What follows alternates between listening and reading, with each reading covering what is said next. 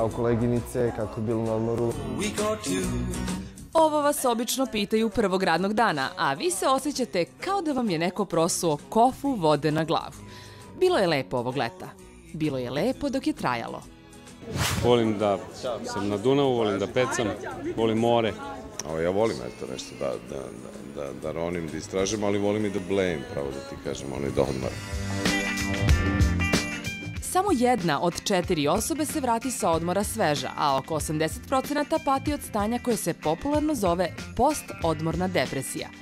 Da, i to postoji. Obično se pravo sa odmora ode na posao. Ja sam odmah ušao u posao dan pošto sam došao, tako da nisam imao prilike da ovaj, kontempliram nad svojom tužnom sudbinom. Ja sam pravo sa odmora došao ovde, tako da nisam ni stigao da budem, de... možda ću posle ovoga da upadnem u depresiju. Da se razumemo, nikome nije potreban odmor kao onima koji su se sa njega tek vratili. Prevarite vreme, neka povratak na posao bude postepen, savetuju nam stručnjaci. Da se napravi mala pauza, kratka pauza, ne ono kao što mi Srbi volimo da ostanemo do nedelje uveče na odmoru, znači se vratimo s puta pa odmah u ponedeljak da se ubacimo u rutinu, nego da se napravi mali prelaz između godišnjeg odmora i tog uživanja i ponovnih radnih navika. Postavlja se pitanje, kako pobediti tu čuvenu post-odmornu depresiju? Nikako. Ono, gledaj fotografije i pati i prisjećaj se. I kada vas pitaju pri povratku na posao kako je bilo na odmoru, obavezno kažite bilo je lepo, ničega se ne sjećam. I evo jedne dobre ideje. Tražim već gde će sledeće ići. Naravno ne odem odmah, ali čisto da imam u vidu. Već danas isplanirajte, na primjer, vikend sa ljudima koje volite. I da, kad već vi ne možete na plažu, donesite plažu u kancelariju. Svi su tu kao nekada Počinje snimanje nove sezone emisije Zvezde Granda i sve je kao nekada. Aca Lukas na okupljanje je došao od glave do pete obučen u crno. Da li je to znak da nije srećan zbog početka novog ciklusa takmičenja? Pa dobro, što ste da obučem belo, ko, ko, ko mlada, šta? Pa dobro, šefalicu. Evo imam patike, imam beli džon. Aca nije upućen u novine ove sezone, ali tu je Saša Popović da objasni. Kakav je to pojas za pritisak? Šta je to? Svaki kandidat ima pulsometar gledamo koliko ima otkuce srca i ovo, tako da ne mogu da kažu uplašio sam se, nisam se uplašio, ovo, već vidimo ovo kako mi Znači, stanje. ima, već, vidim, već vidim treću emisiju u serijalu Zvezda Granda, Zvezda Granda sistematski pregled. Iako se pričalo da se Viki Miljković ove godine neće pojaviti u žiriju zbog svađa sa Jelenom Karleušom, ona je spremna da zakopa ratne sekire. Svađalice moja mala Ja ne volim da ratujem. Ja generalno nisam, ne, da kažemo, neka, neki svađađija, ja, ali kad moram, onda ko, ono što, se, što neko potraži, to i dobije. Viki, Viki, Violeta Karleuša se na ove pretnje ne obazire. Pa da, Viki. Sad će Viki da kaže drugo. Nju Viki ne zanima. Ove sezone zanima je samo jedno, da smrša. Ja sam žena zvana Salčić, evo, tako sam se utegla da evo, evo ovde već ispada, ali ući ću sad stomak pa vi nastavite da me, pitate, ja ću odgovoriti ako budem mogla da izdržim. Kod Ane Bekute red mora da se zna. Prvo kafa, pa snimanje. Crnu kafu bez šećera Jedna kafica može da nije jaka, please.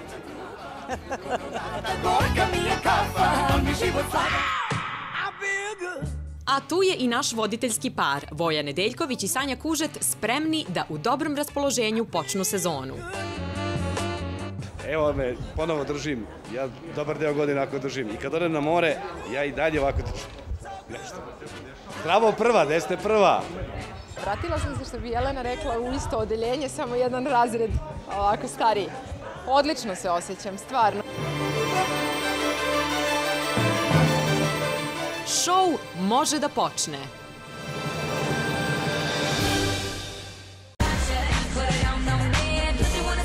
Ovde otvaramo temu gde će strane verovatno biti podeljene. Dve su revije, dva grada, dve kreatorke. Dragana Ognjenović i Suzana Perić. a za njihove goste pitanja tri. Prvo, kada vide Draganine ili Suzanine modele, koju javnu ličnost zamisle u njima? Sebe. Volala bi Madonu da vidim otprilike u tom nekom imidžu. Od Ane Nikolić uh, i Nede Ukraden, Lepe Brene. Ja mislim ona nije bila na pisti, ali je i ona ovaj, nosila njene modele. Sećam se i Sanje Đorđević. Možda na Mirko Vasiljević, zato što sam nju najčešće viđala u Suzaninim stvarima. Eto. Pitanja ista, odgovori različiti. Nije bilo drugačije ni kod ovog pitanja. Za koju priliku bi obukli modele kreatorki? koktel u ambasadi, po, ono, šest popodne, zalazak sunca, nešto maksimalno otmeno. Dragi modeli, molim vas, nosite 24-7. Ja mislim da je ovo haljina koja može se nosi i preko dana. Da recimo nam neko dnevno otvaranje shopping centra. Ja sam malo onaj tip koji bi svečaru haljinu obukao svugde zato što nekako volim takve haljine. A onda je sve postalo još zanimljivije kada smo poželeli da saznamo koja bi pesma opisala Draganine ili Suzanine kreacije. Lady, wow, wow, wow, she's a lady. Pa ja mislim da je to uvijek Barry White. Obično imam neke tako ovaj, pošalice, da kažem, sa nekim pesmama, ali sad ste mi zatekli pitanje. Mo možda da kaže ona šta nju inspiriše da, da, da napravi svoje modele. Zaključak je jedan. Ukusi su različiti. Mi iz ekskluziva smo tradicionalisti. U Srbiji se zna za red. Zna se kako se u kuću prijatelja ulazi. Evo kako, te čekaj da skinem ja. Neko vaca kafu svaki dan, ali se zbog nas baš potrudio. Dobili smo i šoljice sa notama koje se služe samo specijalnim gostima. Evo, Raček. Opa. Onda ovo. Ti si kusak, sam bio klinac, ono, Kevo učeo, ono su pile tu, tu tursku kafu, što mi kamo, srpska, jel? Ali ovo, ja sam posao, ono, znaš, nisam ne bio neki ljubitelj kafe, sad ono kao pijem espresso, međutim sad trenutno, evo viš, nemam ni kući aparat za espresso, kao što nema mnoge stvari u kući, jer sam pustio bivšu suprugu da ponese ono sve što je treba za kuću, a ja ću sad to da obnovim Tako da viš, ima tu sve, svega ima, ali to tako te neke sitnice koje fale, viš malo ako izgleda, ali dobro. Ali snašli smo se. Imali smo sve što je potrebno za kuvanje kafe, koja je nekako uvek bila izgovor za razgovor. Voliš ti mene kad sam dobar.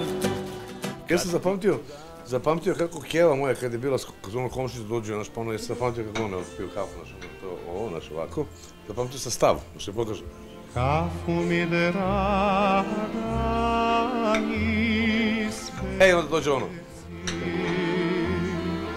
Baš koga nije draga za tebe Kako već ide, to ne znam, i onda posle dolazi ono. I tako, ali eto, ne pije tursku kafu. Kao da im žena kući ne kuva kafu Kada je već upućen u rituale ispijanja ovog napitka, zanimalo nas je da li mu je neko nekada gledao u šolju. Ne. Možda sam imao ovaj. Pored sebe neke što vole da gledaju u raznorazne stvari, pa i u šolji. Trenutno živi sam i nema vremena da kuva. Sokovi i te rabote kisela mleka, jaja i to. Nemam onih stvari koje imaš obično kad ti porodicu tu zakudaš, ono pa da imaš malo luka, pa krompire, to nemam. Nema potrebe za tim jer zaista rekao vam u kući sam, kad sam sam. Zna i on u redkim prilikama da stane ispred šporeta i pokaže svoje kulinarske sposobnosti. Znaš, to, ja kad to kad spremam, onda, mora doći četiri spremačice posle toga, jer tu je sve po, u celoj okolini su tikvice, pečurke i ostale stvari. Zaista nisam ovaj, nisam baš rođen za kuhinju. Razgovor nam je prekinulo ključanje vode. Vreme je da se Aca pokaže na delu. Tako? Pa onda, malo da budu malo jača, pa onda ono, tako, i onda ono, i sad čekamo da bude ono.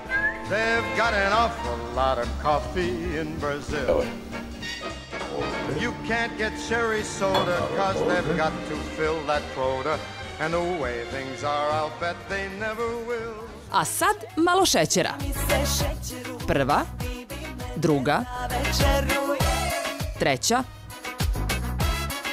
četiri kašike. Izgleda da mu život nije baš sladak. Opet sam prošao.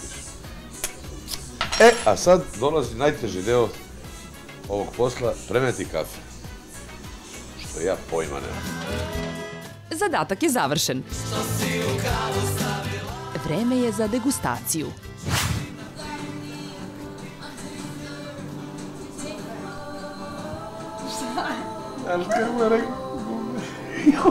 I tako, kafica na stolu, Aca za svojim belim klavirom u dnevnoj sobi. Muzikom je ispratio sve ružne događaje koji su mu se desili u poslednje vreme. Sve je izbrisao. Ostalo je samo moje dete. Na naj, najlepše i najbolje na svetu, na Viktoriji. Okreće novi list i uvek glasa za ljubav kao svoju jedinu istinu, motiv i smisao u životu. Možda je nova, ona prava, već pred vratima.